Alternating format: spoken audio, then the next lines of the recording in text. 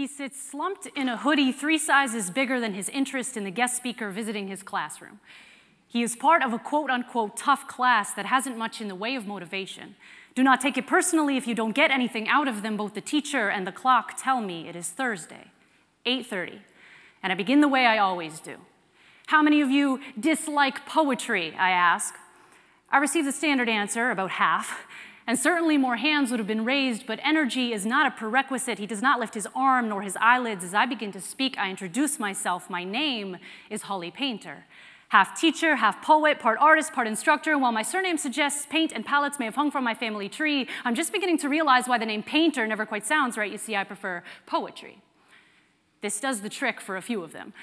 A boy in the back eagerly asks if I'm a rapper, and while I desperately wish I could tell him yes, I stick to the truth. In the next 60 minutes, I invite them to speak theirs too. I begin by unapologetically sharing with them poems about my life what the view is like from inside a closet, what happens when parents split at the seams about discovering poetry slams and finally finding a way to speak, and then I pass out foolscap. I tell them they can write about whatever they want. There are still a few students with stares as blank as the line sheets I have offered them, but this workshop does not have a rubric, and I know better than most that sometimes showing up is the best we can do. As I circulate the fluorescent room, a girl twirling a rainbow bracelet around her finger says her best friend would probably enjoy my poems. I see Equal Love scratched as a title at the top of her page. A boy sitting next to the condensation stained window says he and his friends gather outside in circles and spit bars. He says the teachers assume they are doing drugs. I introduce him to the word cipher, and he shyly shows me a notebook overflowing with his rhymes. The girl behind him eyeliner as thick as the armor I imagine she wears underneath her pink sweatshirt, says, My parents divorced too when I was only nine, and sometimes I wish things were different. Miss, I don't know how to start a poem. I tell her, I think she just did.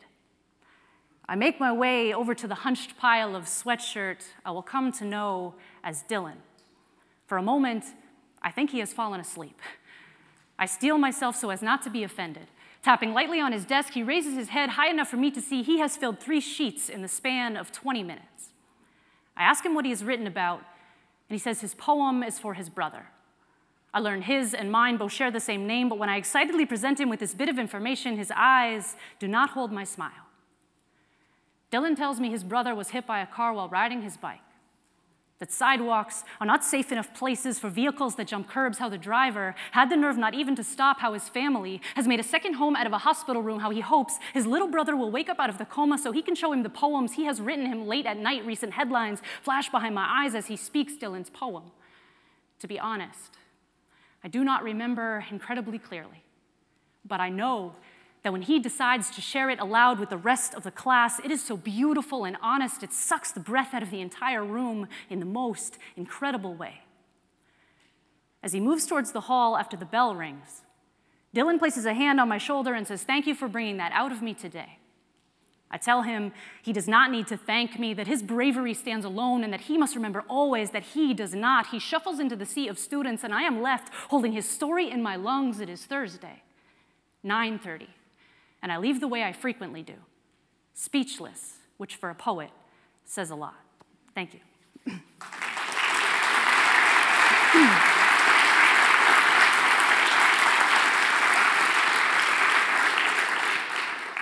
My name is Holly Painter. Um, I'm a spoken word artist, a public speaker, and a certified teacher. Um, and I have kind of the best job in the entire world. Um, I get to travel around the province and introduce students to and work with them through the creation of spoken word poetry.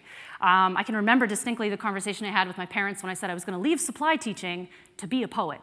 Uh, luckily, exactly, there was that silence and then like a, huh, okay. Um, but luckily, it's all worked out. And so I, I am amazed all the time uh, to have this job and blessed to have this job as a full time artist educator and to see young people using poetry as a way to express themselves, as a way to be emotional and vulnerable and empathetic with each other in classroom environments that don't always allow or invite them to do so.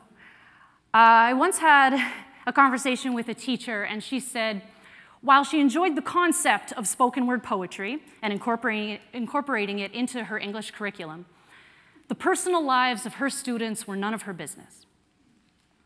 I didn't say a whole lot at the time, but if I could go back and have that conversation with her again, I would ask her how it's possible to separate student and learning from person and life.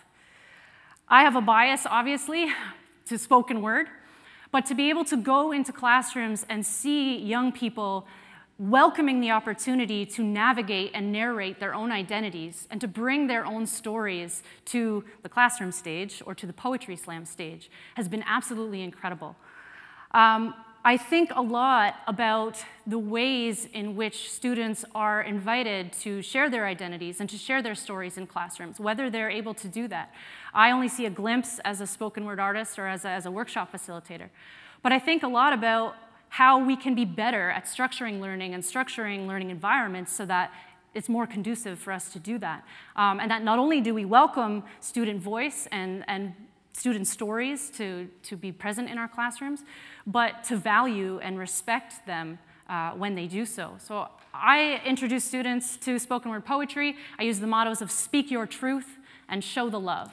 And I see it over and over and over again. That poem that I just shared with you is just one example of one workshop that I facilitated, but this happens over and over and over and over again. Watching young people have their say on their own story. So I guess today I think I come with the question of how can we be better in doing that, not only by incorporating spoken word poetry into English curriculums, but other things that can help facilitate this conversation. And when I start thinking about that, I also start thinking about how we as uh, educators or adults consciously or unconsciously impose our own identities on students or our own identities on the young people that we work with. And sometimes these moments happen, they're so minuscule, we don't even realize that we're doing it, that we impose these ideas of what, who a student is or what they can be on them. And it sort of stifles young people's ability to be able to know and narrate and navigate and learn themselves. Um, I suppose the best way to give you an example of this is to tell you a story. Um, well, to share a poem, obviously. this poem is called Butterfly Boy. The halls were all but silent. A faint squeak of sneakers greeted me at the door. A sign read, Visitors must report to the office. I could have been in any school in the country. Telephone perched between shoulder and chin, the secretary glanced casually in my direction. Continuing her percussive keyboard clicks as if lives depended on it, so I turned my attention to the artwork adorning the school entrance. The foyer, filled with pink and blue traces of splayed fingers on construction paper, each child's name scratched haphazardly in crayon on the colored sheet he or she had been assigned. I was met by the silent applause of kindergartners, yet couldn't put a finger on why I felt unsettled. Returning to the receptionist, I began to introduce myself but was quickly interrupted by two enthusiastic students bouncing into the room, attendance sheets gripped fiercely in their palms, holding on to their responsibility for dear life. They grinned widely as they handed her the papers, and she smiled back and offered them stickers as thanks. The brown haired girl and the brown eyed boy both reached for their prize, and I watched as the boy's eyes drifted from his truck sticker to the little girl's butterfly. Can I have that one instead? He said, Almost inaudibly, an uncertainty caught in his throat, and the way the secretary thrust the truck forward, I doubted for a second she had even heard him speak. He repeated, Why can't I have a butterfly? I waited for her answer with the same bated breath as the boy, hoping she would think twice or 20 times about her next line, wanting more than anything to grab him in his blanket of innocence and run away. Butterflies are for girls, she said. So strongly, I thought maybe she had been fact checking this when I came in. Her conviction. Her conviction left both of us silent. He accepted her ignorance and left, his head hanging down towards the floor, no doubt heavy with the weight of the new knowledge he possessed. I wish I had said something. To this day, I imagine him, returning home from school that night, dropping his backpack and naivety at his bedroom door, staring at the mason jars lining his bookshelves that he had collected for when he netted the most beautiful specimens. He would have captured them in amazement, then released them when his kind heart reminded him that they deserved to be free and shouldn't he? Be free to love butterflies or anything else on this earth, not cocooning his heart against beautiful things because the rules of pinks and blues choose what it is we can fall for. My dear butterfly boy, I hope that wherever you are today, you have learned how to deal with people with faces full of preconceived notions masking as concern. I hope you tell them this is not the way things have to be. I hope you live in a conservatory surrounded by the symmetrical rainbowed bodies you think are gorgeous, better yet. I hope you wear your love of butterflies proudly on your chest the way other men slip on sweaters of sports teams. And I hope if anyone questions what is wrong with you, that you return the question back like a package misdelivered and ask, Why do we clip the wings of our brown haired girls and our brown eyed boys? Why are the souls of those who love freely crushed into insect dust beneath the souls of those who can't think outside the box? My dear butterfly boy, I hope that whatever you have bloomed into is full of beauty and that your heart still loves with no restrictions. And most of all, I hope that someday a person like me could enter any school in the country and see a boy like you asking the question again. And the only answer he'll receive is, of course, you can. Thank you.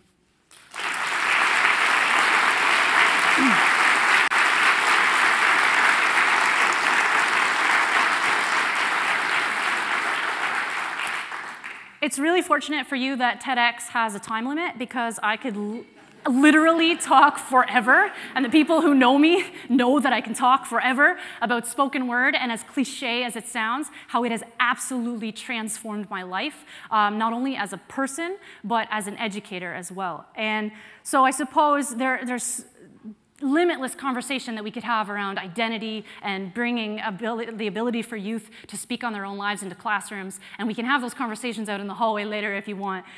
But I think, if nothing else today, uh, my talk, I suppose I would like to just have it serve as a little spark or a little seed. If you've never heard of this thing called spoken word poetry before, um, check it out because it kind of has a big impact. So uh, if I haven't already convinced you to Google that when you go home. I've got one more thing to say.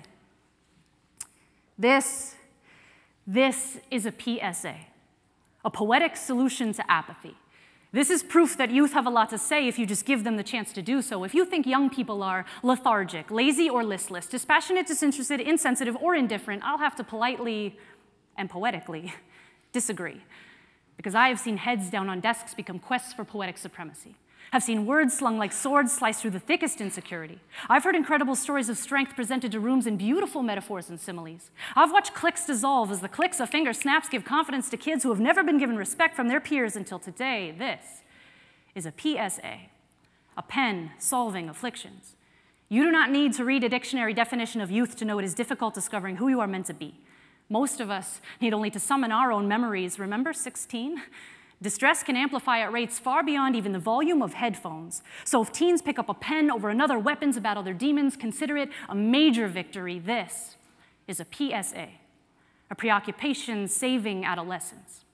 Don't think poems have much power? Ask me about the students who have used workshops to come out to their peers. Ask about the secrets they reveal that need to reach somebody's ears. Ask about the difficulties they're sharing well beyond their years. This is an outlet, a way to get out what's left buried in chests, a way to speak on what goes on behind the scenes. But don't worry, it's not just a stream of narcissistic rhymes. It's youth finding their voices on more than just their own lives. This is a PSA, a performance stimulating advocacy. I have seen teens battle injustices both on and off the page, both on and off the stage, taking up causes after writing about this world needing change. This is not just a complaint fest on paper. This is testing them to right what's wrong, then write what's wrong. This is empowerment and inspiration rolled up into the ballpoint of a pen. This is a lesson in saying what you mean and acting on what you say. This is a PSA, a possession of self assurance. I have witnessed kids hit growth spurts right before my eyes. Digesting so many poems, they grow backbones overnight. Watch as they discover courage they never knew they could possess. Stacks of paper become launching pads for newly soaring confidence, and all of this is accomplished while teaching them the literary basics. We deserve a spot in the curriculum with William, even though we're not as famous. This is a PSA, a powerful, significant activity. This is passion and compassion. This is a movement and a community. This is an art form changing lives. This is spoken word poetry. Thank you.